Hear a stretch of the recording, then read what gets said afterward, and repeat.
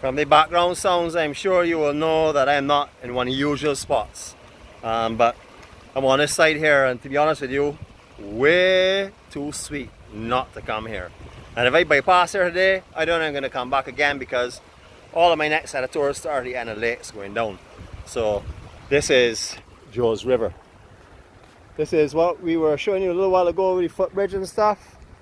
And this is the Joe's River area. When we have heavy rains, these banks, water will be right up to the banks, so it gets really serious. And that is the Joe's River footbridge that we had walked over earlier last week or week before. Time really flies. Um, so you now know exactly where we are. Uh, when I told you it was difficult for me the other day to focus the camera because I was just so taken in by the beauty, it feels the same way again here. But I learned my lesson then and that is I can always press rewind and I can always press pause and I can always enjoy this beauty later on over and over if that's what I desire to do. You know folks, you, I, I'm not going to tell you anything about what you're seeing. You've seen it for yourself. Beauty and a lot of Barbados that you may not normally see or seeing today. And we have so much more in store for you.